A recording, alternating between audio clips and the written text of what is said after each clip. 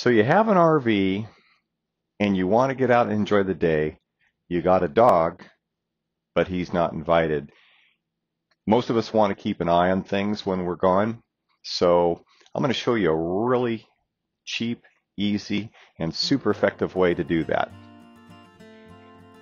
Well, here's a really easy way to put a camera into your RV or your home for that matter.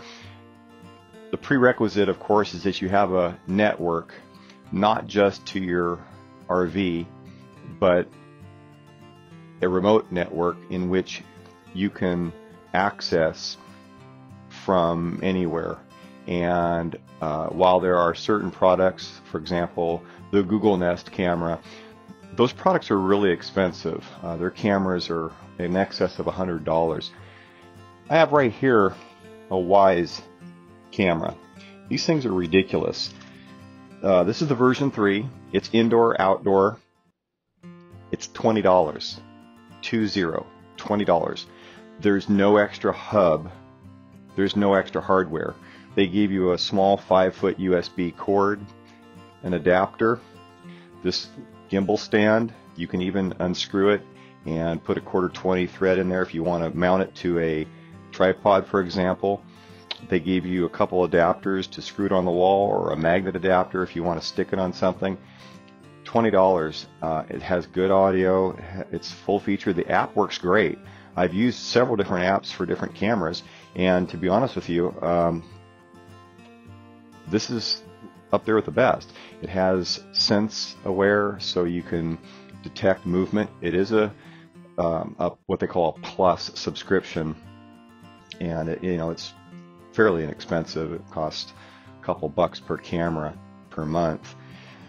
So um, this is pretty neat, and you just set it up. You lock it onto your network of your RV, and then you can check in on your pup. And we've used it a couple times now. It works great.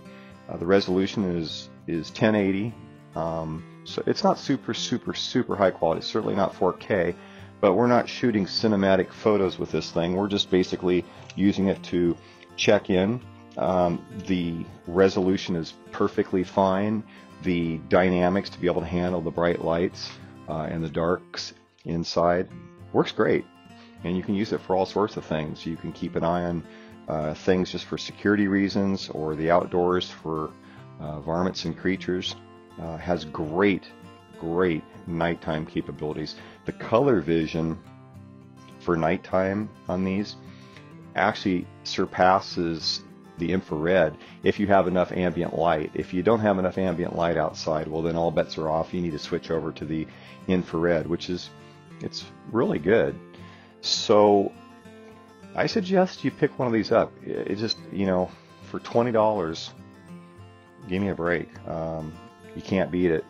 And gives you a, little bit of peace of mind uh, to keep an eye on things. For example, when you're going out for a warm summer day and you're concerned with uh, the power going out in your RV um, or the air conditioning not functioning for some reason, these can come in handy.